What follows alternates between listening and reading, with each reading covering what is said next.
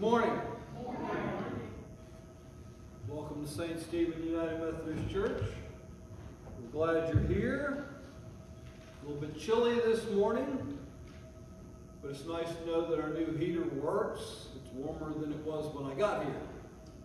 Uh, so that is working. I want to welcome those of you watching on Facebook or YouTube. As always, we want you to feel a part of our congregation.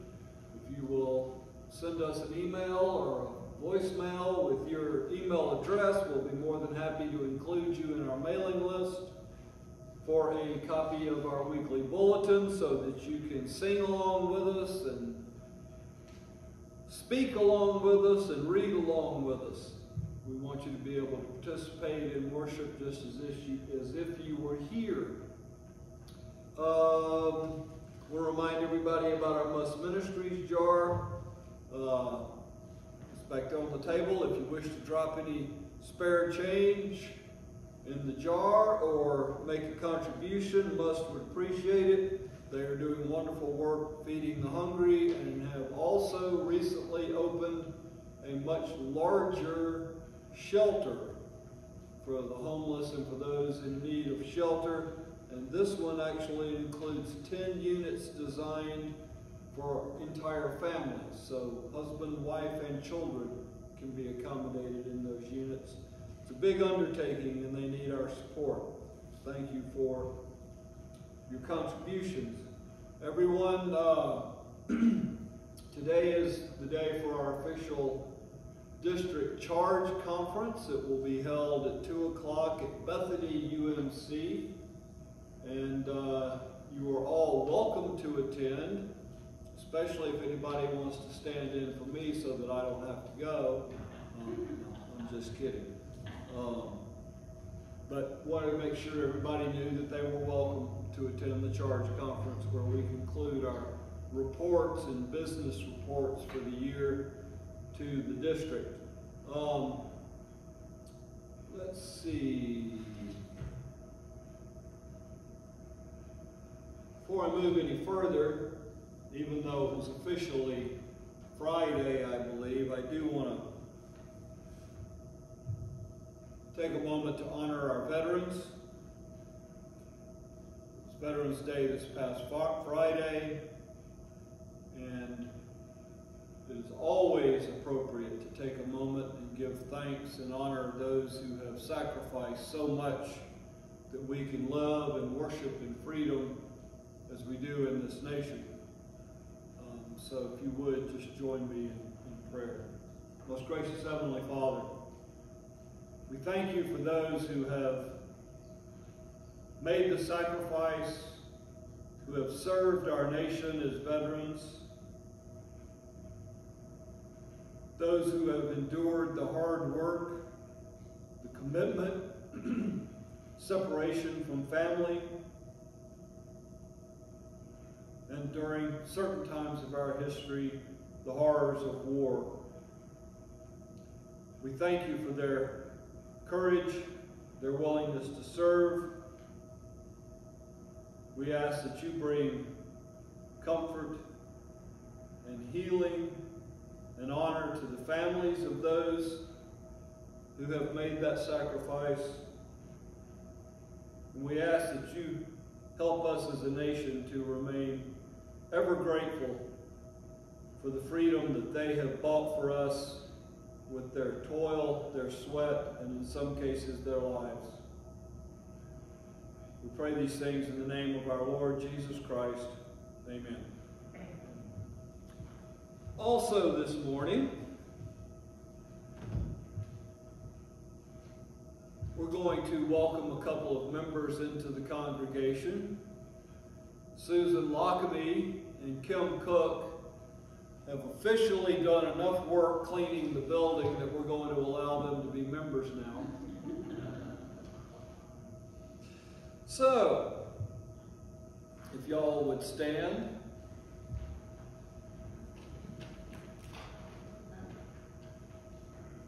Let those persons who are members of other communions or of other congregations in Christ's holy church and who now desire to enter into fellowship of this congregation present themselves to be received into the membership of St. Stephen United Methodist Church.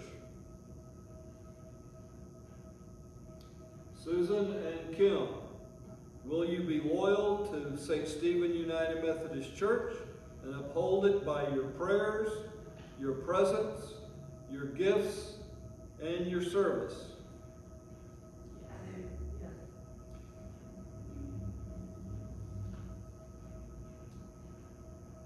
Brothers and sisters, I commend to your loving care these persons whom we this day receive into the membership of this congregation.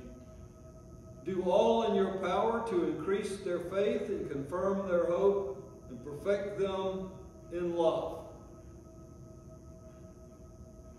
We rejoice to recognize you as members of Christ's Holy Church and bid you welcome to this congregation of the United Methodist Church. With you, we renew our vows to uphold it by our prayers, our presence, our gifts, and our service.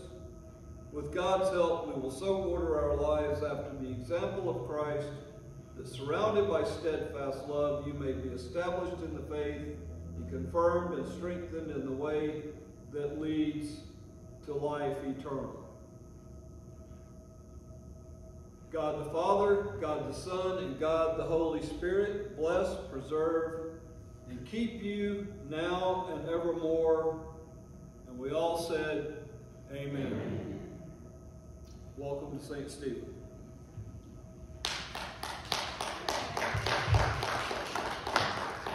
And now we will proceed with our opening scripture.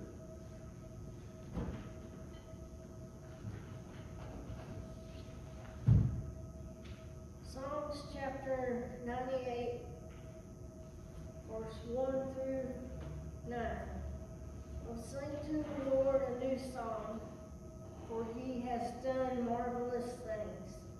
His right hand and his holy arm have gotten him victory. The Lord has made known his victory. He has revealed his vindication in the sight of the nations. He has remembered his steadfast love and faithfulness to the house of Israel. All the ends of the earth have seen the victory of our God. Make a joyful noise to the Lord, all the earth. Break forth into joyous song and singing praises. Sing praises to the Lord with the lyre, with the lyre and the sound of melody, with triumph trumpets and the sound of the horn make a joyful noise before the King, the Lord. Let the sea roar and all that fills it. The Lord, world, excuse me, the world and those who live in it. Let the floods clap their hands.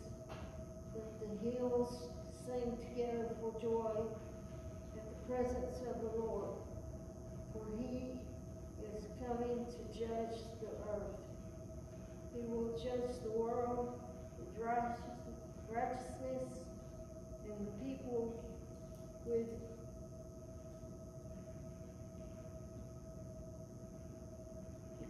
uh, equity.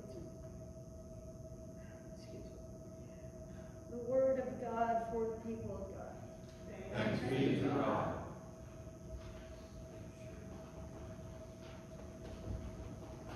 Shall we join our voices together this morning in song? The hymn is number 68, When in Our Music God is Glorified.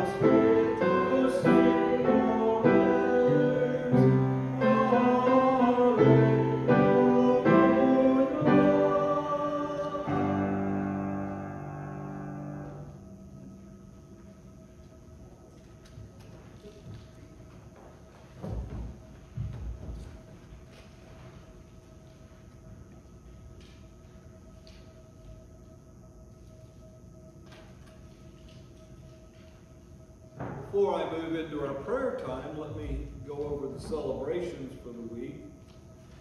Birthdays, we have Linda Blankenship. Birthday. Anniversaries, we have Sean and Amanda Savage. Church membership, we have Sarah Jones with 68 years as a member of St. Stephen. Gloria Hughes with seven years. Ronald Johnson with 55 years as members of St. Stephen. So thank you for your years of service. And we celebrate your loyalty and faithfulness to the church. In our prayer request this morning, we were asked to add the Brown family who lost a son this past week. We also want to be praying for Richard Hillman, Jones family over the death of Chris, Faye New, Jack Lamberson, Becky Sago, John Fuller, Gina Sue Smith, Francesca Asua, the Knowles family. We're going to continue praying for Sherry Clegg and her ankle, although we added her to the praise list this morning because she says her ankle is much better. But we're going to keep praying until it's 100%. Our long-term prayer list, we have Anne-Marie and Dave, Barbara Casey, Becky Newton, Becky Sago, Beverly Savage, Carol Fuller, Camilla Muniz, Caroline, Graham Sykes, Gene Kibler, John Dickerson, John Reagan, Larry Cooper, Margaret Hughes, Margaret Simpson, Marlo Keith, Norris Jones, Phyllis, Sarah and Floyd Polk, Sybil Steffen, Victor, Victor Blackstone, Wendy Tedder, Willie Neal Kane. We need to continue to pray for those affected by violent crime throughout our nation and throughout our world. And those affected by war and violence anywhere in this world. And again, we want to pray for the families of those veterans who have sacrificed all for our freedom. Let's go to the Lord in prayer. Most gracious Heavenly Father, we thank you for all of your many blessings. It is only through the glory of your grace that we are free to gather and worship, we are free to pursue happiness and success in our lives. It is only through your blessings that we have an understanding of what happiness and success truly are. We thank you for this church, for the opportunities for ministry and worship that it affords us. We ask you to continue to guide us as we make decisions about the business of our church. We ask that you continue to bless us that we may gather here, worship as we see fit, praise your name, and seek greater faith in our Savior, your Son, Jesus Christ. We hold up all of those who've been named who are in need of your healing, who are in need of your precious touch, who are in need of your comfort. We ask that you extend your mighty hand and heal those who have been named. We ask that you also extend that beyond the names that we have listed. That you would bring healing and comfort to all of those in our community who are in need.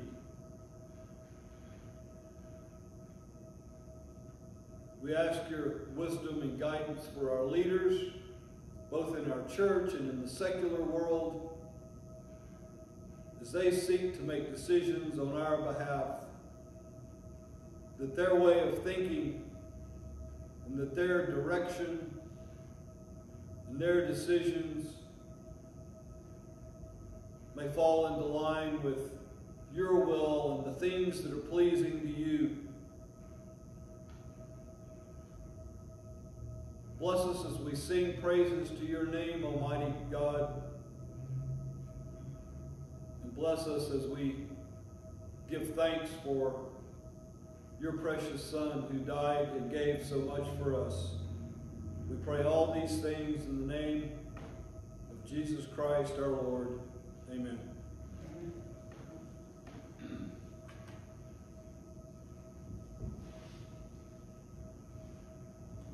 Join me now as we read our statement of faith. You will find it in your bulletin or on page 881 of the United Methodist Hymnal. Join me as we read the Apostles' Creed.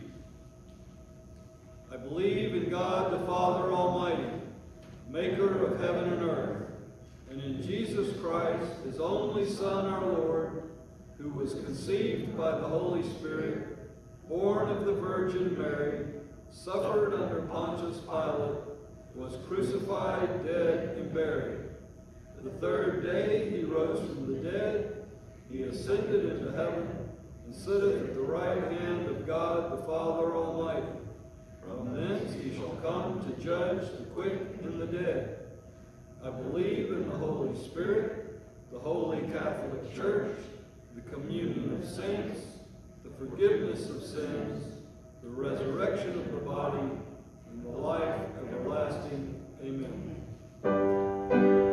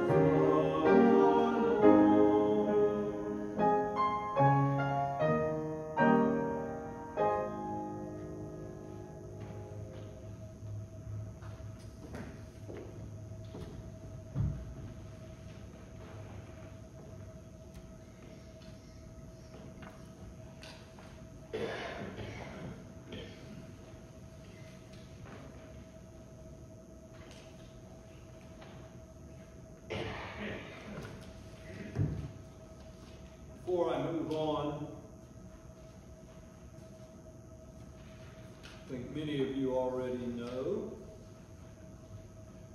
but the southeastern jurisdiction of the United Methodist Church, of which we are a part, uh, it's made up of a number of conferences in this region, held Episcopal elections, and our current bishop Sue Haupert-Johnson, will be leaving the first of the year to be the bishop in the Virginia conference.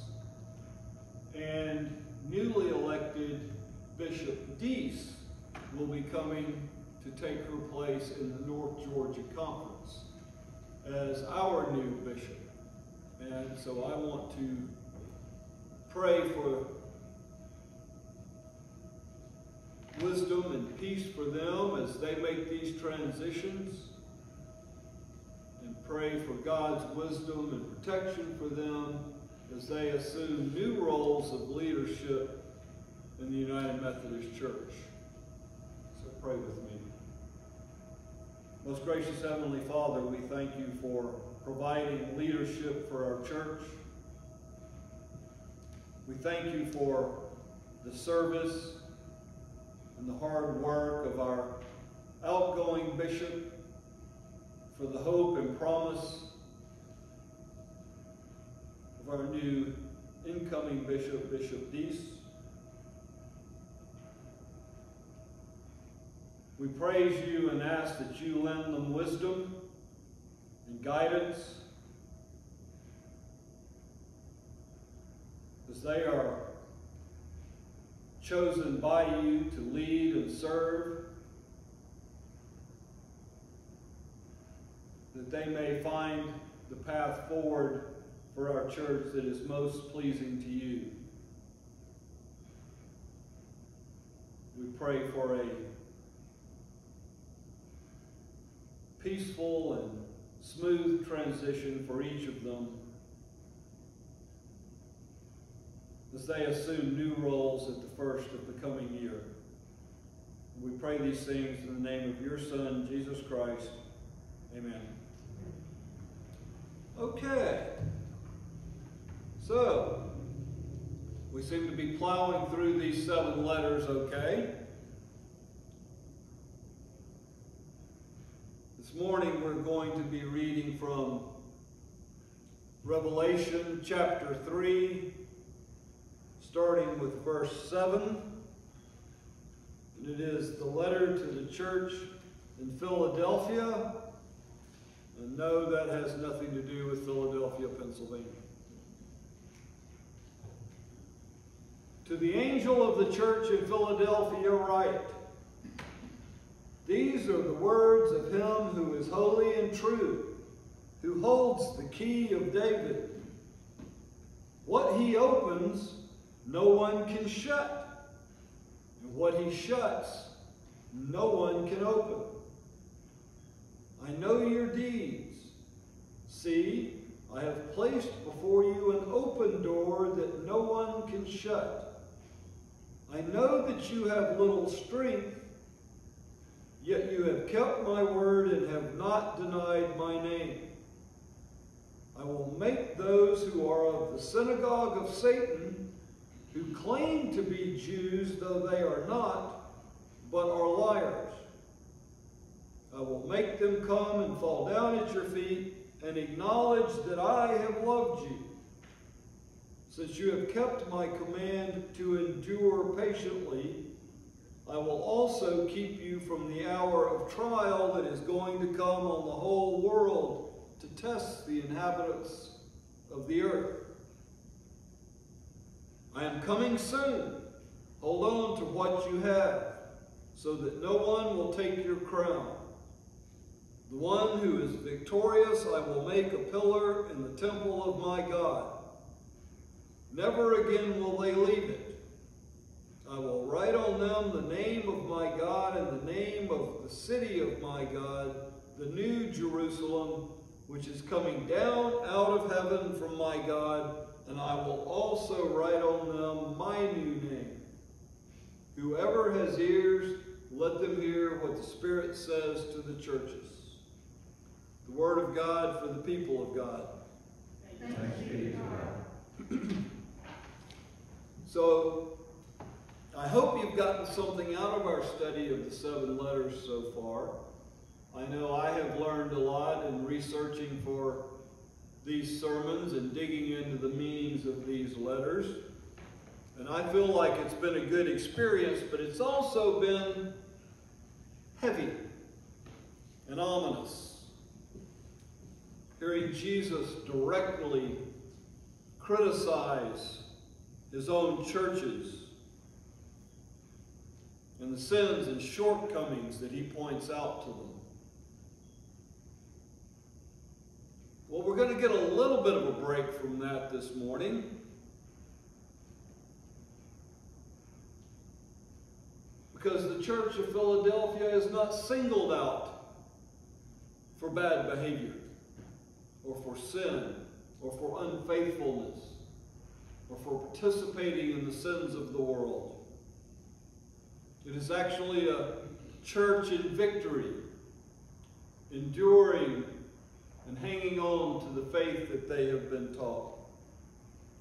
Of course, there is sin involved in the story, but it's not on the part of the church.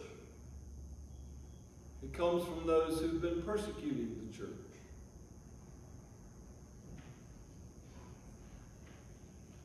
One of the great lessons of the Christian church's history, and one that we don't talk much about here in the West because it can be unpleasant, although it's actually a good thing.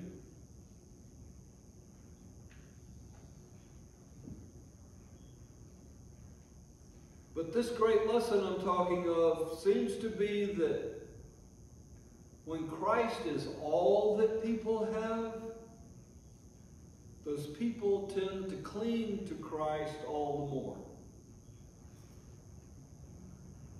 This can be seen in the early church in Judea, where the majority of Christians in Jerusalem and nearby were among the poorest people in the nation and fell under the persecution of the Jews and the Romans there in Jerusalem. And the history of the church shows this to be true. And many of those who first came to America to settle this continent came seeking religious freedom, and they too had been persecuted in the lands of their birth, and quite often came from the marginalized and from those who had no wealth or power in their nations. And they clung tightly to their faith because their faith was all that they had.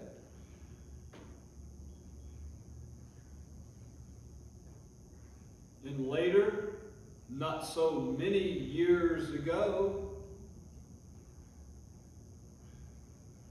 the poor amongst the blacks in the South in the United States found that they had been given their freedom, but they'd been given very little else. And that there was very little opportunity for them to flourish and do well. And most of them had to begin as laborers or even sharecroppers, farming someone else's land in order to make ends meet and feed themselves. But their faith was strong, and they clung to their faith. And it was a priority in their lives.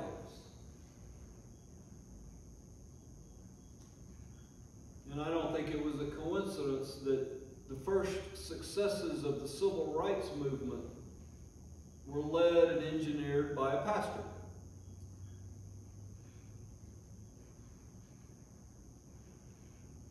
When Jesus is all we have, we cling to Jesus tightly.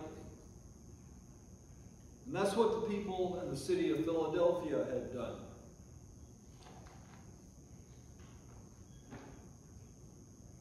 First, in the year 17 AD, there was a great earthquake in the region. And Philadelphia was in a part of Asia or, it's now a part of Turkey. They had a tremendous earthquake that totally leveled and destroyed many of the cities in that area. It didn't totally destroy Philadelphia. Philadelphia was spared the worst of that destruction.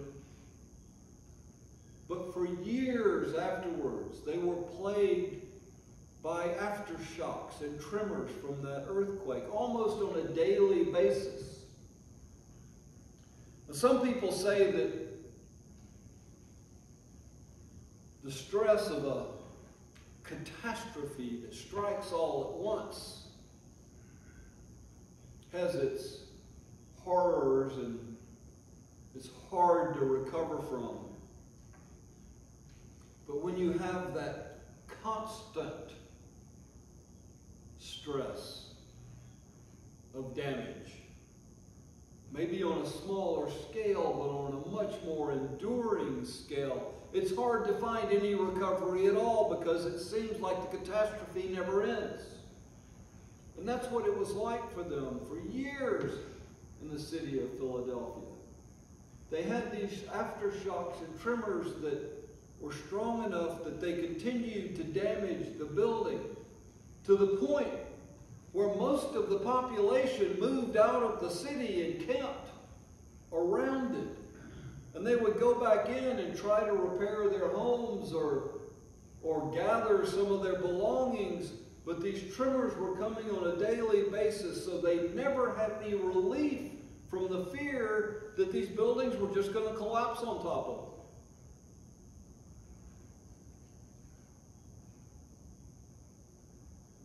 You can imagine living in a, a state of constant fear and stress like that. In addition to these earthquakes and tremors,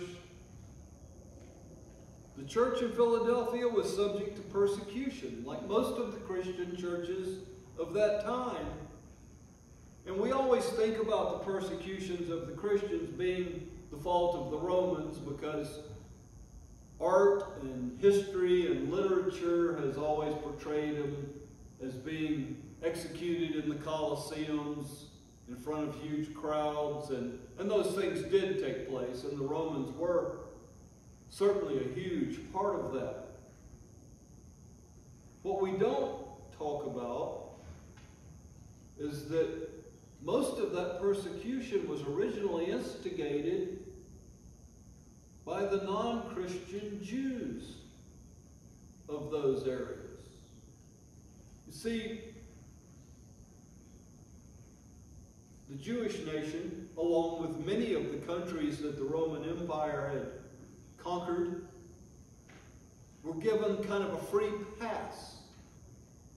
They could practice their own religion without interference from Rome and without having to adopt the Roman gods, as long as they obeyed the rules and kept the peace.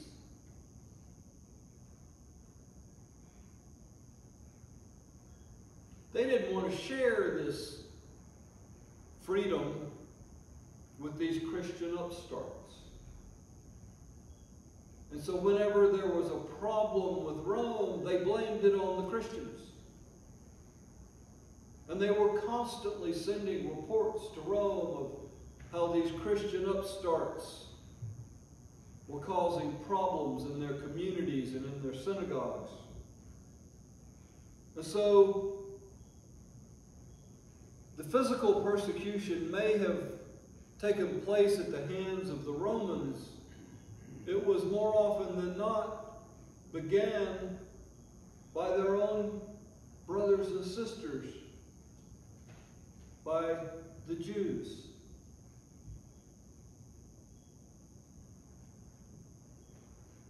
So that's what is meant in this letter when it says, I will make those who are of the synagogue of Satan, who claim to be Jews, though they are not, but are liars. You see, God had made a covenant. In fact, he made that covenant over and over again with his people, with Abraham, with Moses, with Joseph, with Isaac. That their descendants would inherit the promised land and be the promised children of God and receive the glory of God. But time after time, they had violated their side of the covenant. And time after time, they had not kept the covenant. Until the day came when God, as his son Jesus, came to provide a new covenant in a new way for us to be reconciled. And they rejected it. So they were no longer God's chosen. Because as Jesus said,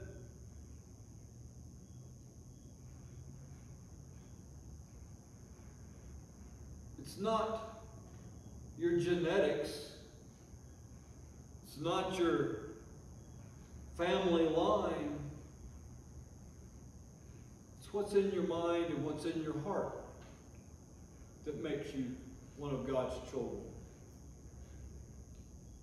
In Romans chapter 9, verses 4 through 8, it says, They are Israelites, and to them belong the adoption, the glory, the covenants, the giving of the law, the worship, and the promises.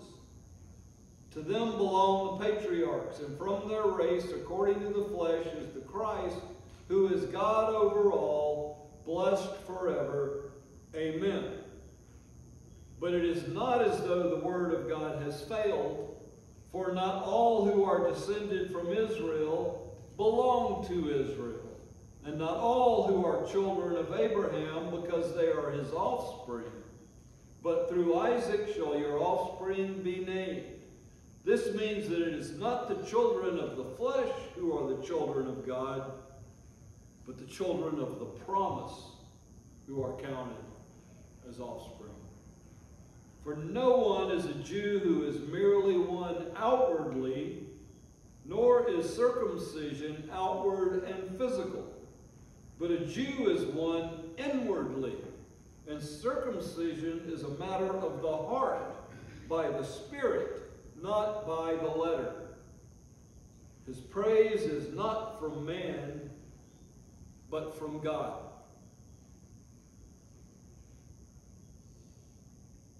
So Jesus told us in as many ways as he could before his crucifixion that it's what's in the mind and it's what's in the heart that counts. And so he continues to teach that lesson from his throne in heaven. It's not who your parents were, it's where your faith is. And according to this letter, the city of Philadelphia has remained faithful in the face of hardship and great persecution. And in our reading, he says, Since you have kept my command to endure patiently, I will also keep you from the hour of trial that is going to come on the whole world to test the inhabitants of the earth. I am coming soon. Hold on to what you have so that no one will take your crown. The one who is victorious, I will make a pillar in the temple of my God. Never again will they leave it.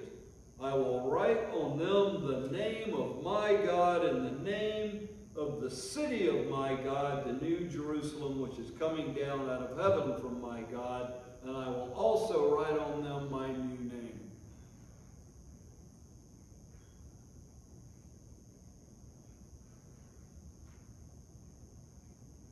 So I would suggest to you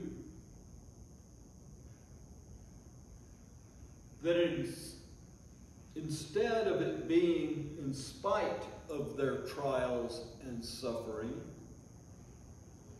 that it is actually because of their trials and suffering that they remained faithful. Many times I've heard stories, in fact, I've told stories myself, about how faith was lost because of some horrible thing that happened to someone. Well, I was a Christian, but I just can't believe in it anymore because he let my mother die, or he let my father die, or or he, you know, did this to my family, or he did that to my home, or and that these horrible events shook their faith.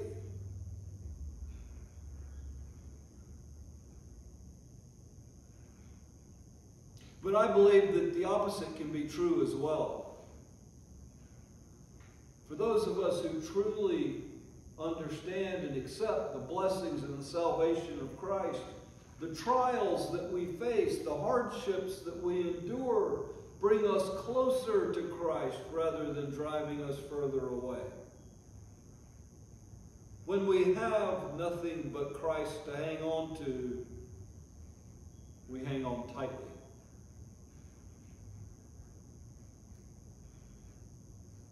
For Christians, this life can be full of joy and happiness.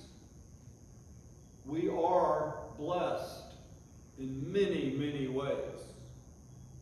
The Christian life offers more peace of mind and contentment, contentment than any other possible path that we could choose. But no matter how many blessings we receive, life in this world also contains challenges and hardships. It is the nature of this corrupted world that we all face challenges and hardships. But I would suggest that without these challenges and hardships, we would have no basis for appreciation and gratitude for all of the blessings that God pours upon us.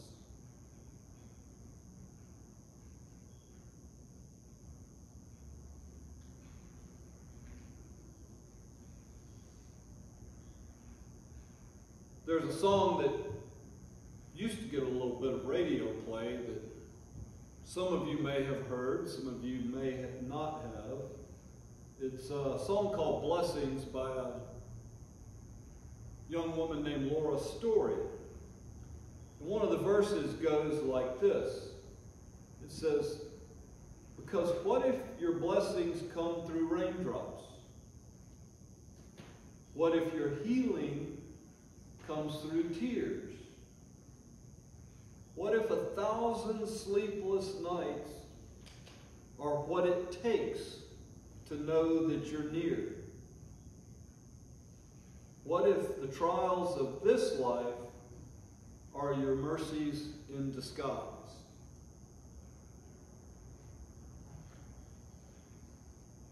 I know a lot of you folks here at St. Stephen have seen many trials. Some of you are enduring hardship right now. But you've also received many blessings. Blessings that can only come from a life in Christ. So praise God. Repent from sin and share the good news so that those blessings will continue to fall on us. Amen? Amen.